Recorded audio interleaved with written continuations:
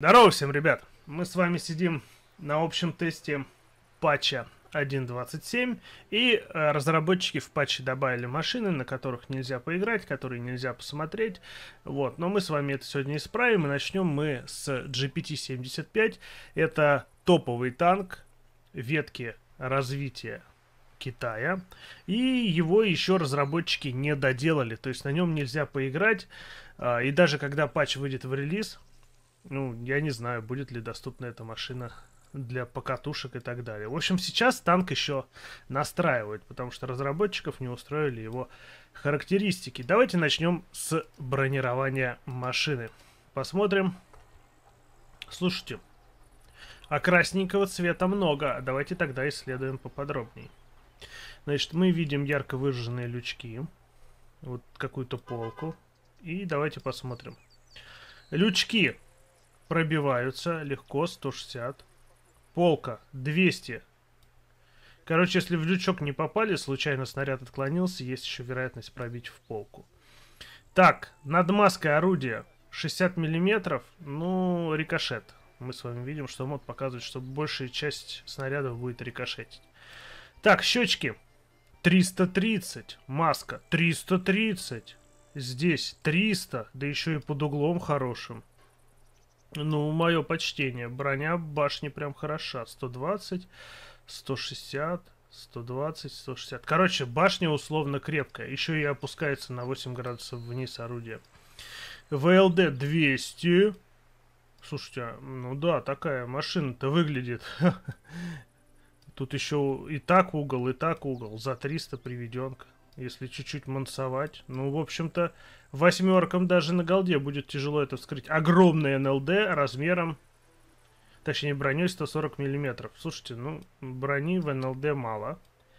Но где-то у него должны быть слабые зоны. Борта 100... Мое почтение, кстати, бортами можно танковать 110.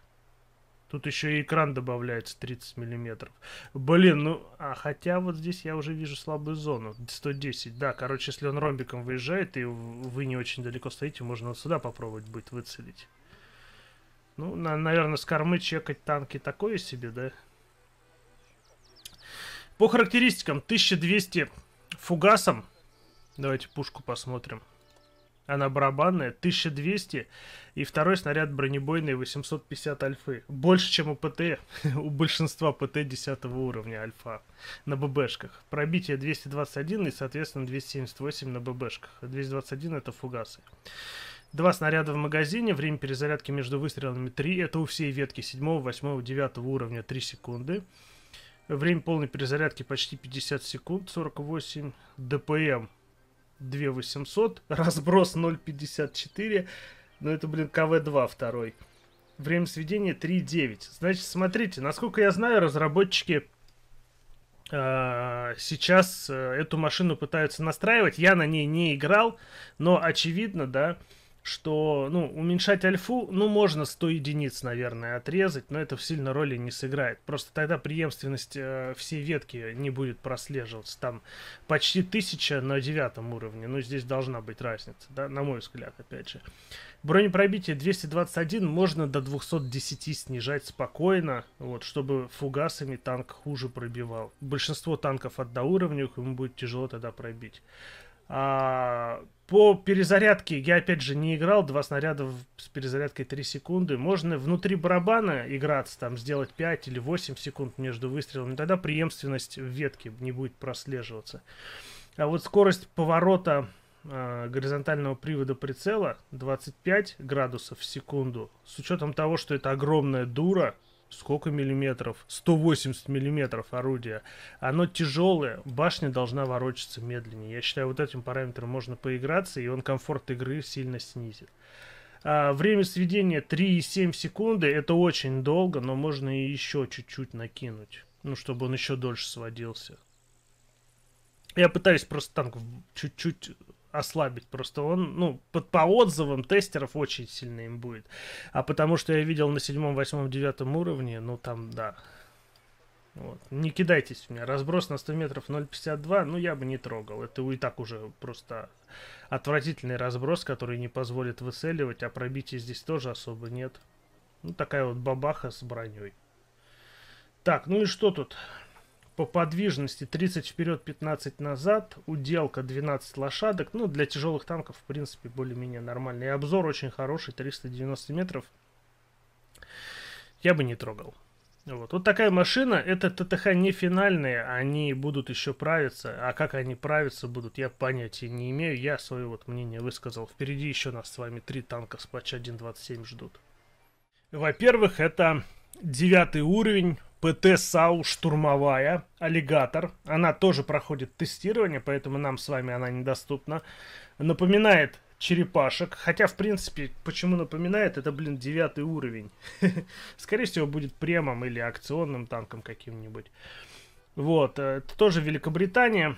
Давайте посмотрим, что у танка по броне. Очень даже хорошо. Так, НЛД 63. Ну, так, а почему красным? А, ну под углом, наверное. Да, вот так вот. Рикошет, потому что. Так, броня 260 ВЛД. Здесь немного, но рикошет. Щечки 241. Приведенка 270. 280. 400 вокруг маски. Слушайте, ну это такая черепаха подобная. А, машина 177 борта. Охренеть. Ну, здесь, правда, вот за гусеницей немного. Так, а может тут чем удивит? Просто сейчас. Нет, ну тут ничего удивительного нет. Лючок торчит, наверное, можно выцелить. Ну да. Но он маленький. По сравнению с тортом, он маленький. Что по ДПМу? 3000 с лишним в стоке, 0.35 точность, 1.8 время сведения. Это такое ощущение, что готовится прям 9 уровня под ветку британских ПТшек, очень по геймплею он прям будет похож. Углы наводки минус 10 вниз, Влево-вправо сколько? 18. Немного, но тут корпусом надо будет доворачивать. 390 а, урон, 268 пробития. а на голде... А, слушайте, а здесь голда осколочно-фугасная с пробитием 210. То есть это танк без особого пробития. Да, ну 270 на девятом уровне. Это хорошее пробитие, базовое. Но это не впечатляющее. Но 210 есть фугасница, 210 и 480 альфы. А на фугаснице, я думаю, там ДПМ будет лютый. Ну, считайте, плюс 30% к 3000. 4000 в стоке просто на фугаснице ДПМа. Попали в топ против семерок просто. Пока семерочки. 210, я думаю, за глаза хватит. Блин, Опять же, тестируется машина, не стоит сильно обращать внимание. Да и броня у нее качественная. Вот так вот довернули, все. Вот, вот это за стеной, допустим, часть, а вот это торчит, да, 290, 300. Ну, семеркам, восьмеркам, ну, просто представьте эту машину против себя в топе. Опаснее. Одна надежда на арточку любимая будет. Ладно, идем дальше, пошли следующий там. Ну, по скорости, я думаю, тут нет смысла смотреть. Скорее всего, он не едет. 10 лошадок, 30 вперед, к слову. Не зря зашли, 400 обзор. Вполне себе самостоятельная боевая машина. И двигаться сможет, и... Ну, правда, разгоняется плохо. 10 лошадок на тонну. Один, ну, 10 с половиной. Но, по крайней мере, светить себе сможет 400. Ладно, посмотрим, в каких параметрах разработчики решат ее оставить. Следующий папилац. ТС-60, это уже американцы такие, типа, а что это у нас нет ПТшек девятого уровня, заднебашенных, вот такой вот при, причудливой формы. Ну, кстати, прям форма мое почтение, действительно, машина интересная. А, давайте взглянем на броню, может быть, удивить. Хотя я не думаю, что здесь броня будет, но... Так, ты что такой красный? 120 миллиметров. 200 ВЛД.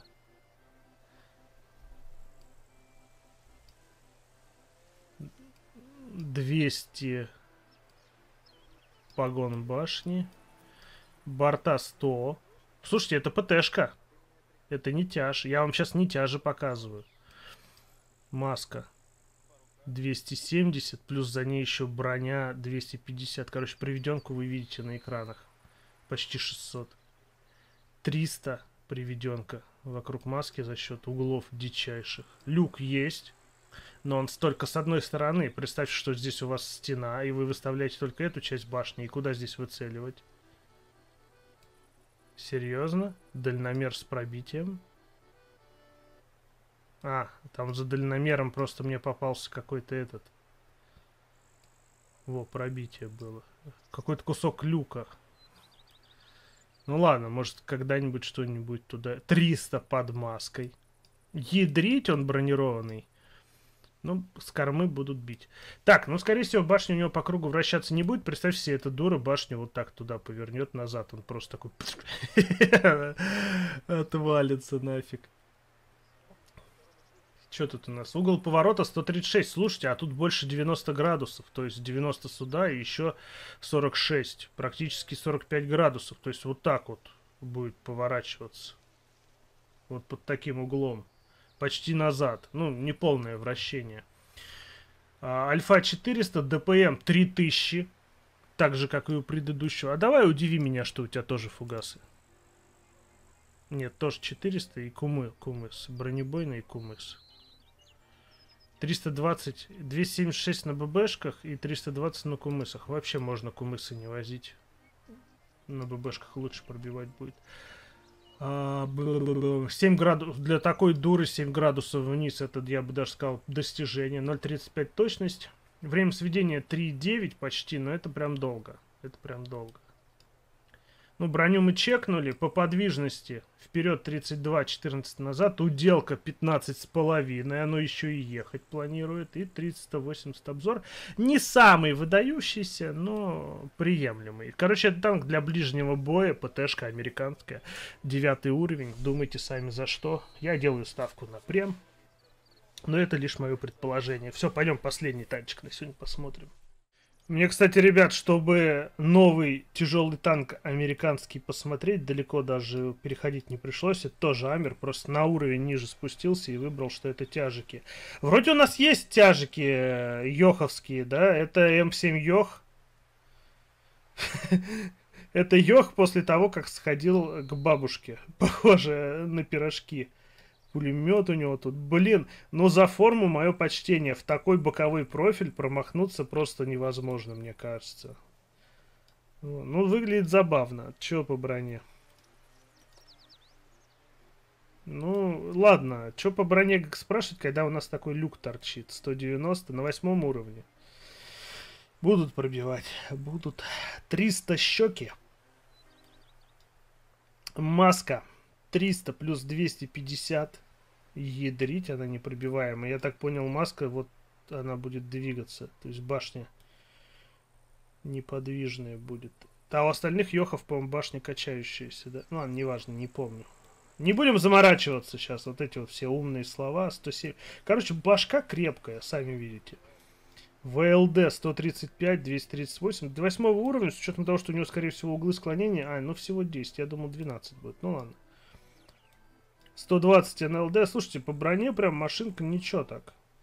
Вот сюда вообще будет пробиваться без урона. Э, ладно. Так, что броня бортов? Он еще и высокий засранец. 50 миллиметров. Ну, это танк не для танкования, Роба. В это от башки играть. Вот этой половиной. Вот этой не надо выставляться. По пушке глянем. 440! А что у него за калибр 120 миллиметров? У Йоха вроде не было большой альфы или было? Я на Йохах низкоуровневых мало играл. 218 на ББшках и 280 на кумесах. Перезарядка орудия 17 секунд.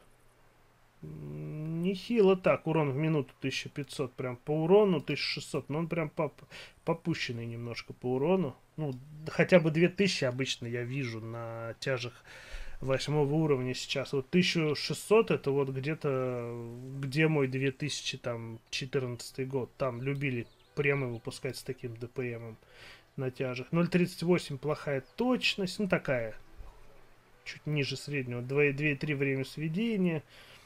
В общем, машина под что-то готовится. Неужели это расплата за большую альфу такая? Ну, у Йохов-то там вы, дал, дал, дал, дал, дал, дал, выглянул, дал, выглянул, дал. Здесь, конечно, пострашнее все это выглядит. 45 вперед, по подвижности вопросов нет. Почти 16,5 сил на тонну веса уделка. Все ок. И 390 обзор. Вот такие, ребят, машины. Надеюсь, было интересно посмотреть. Судя по цене в 11 тысяч голды прем. Но опять же, это тест не факт. Не факт. Пока-пока.